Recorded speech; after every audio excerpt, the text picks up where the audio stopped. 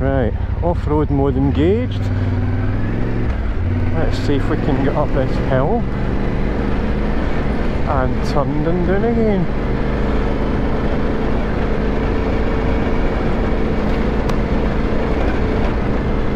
Nothing to it.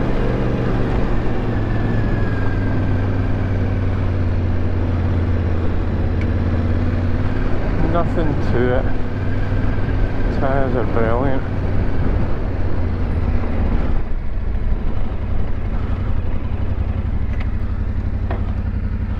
There we go. And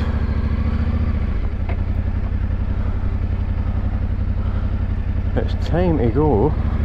I'm a lot more comfortable of it with slightly loose stuff. I'm just letting it go. You know when the bike's just no get any force driving it forward, the front moves an awful lot, but just let it. Wild off camber.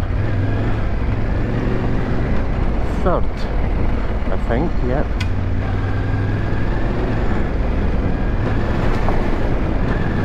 Fine in that mud. And coming up. Lovely. And this is wet stuff.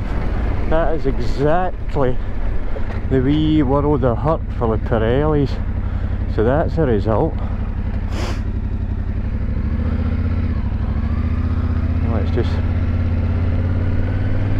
whew, relax in Bimbleham uh, now. Show you the wee loch.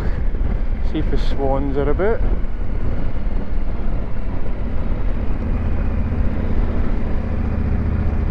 Oh, the ducks. There's one there.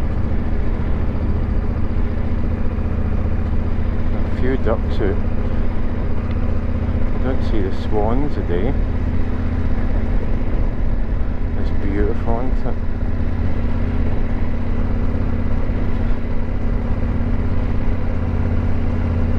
I'm trying to look out the corner of my eye where I'm going just so I can see the lot, the wee lot. There are swans there, but oh look, drying road now. Ah, you can really feel the rear knobbles moving. That's alright. We'll get used to it.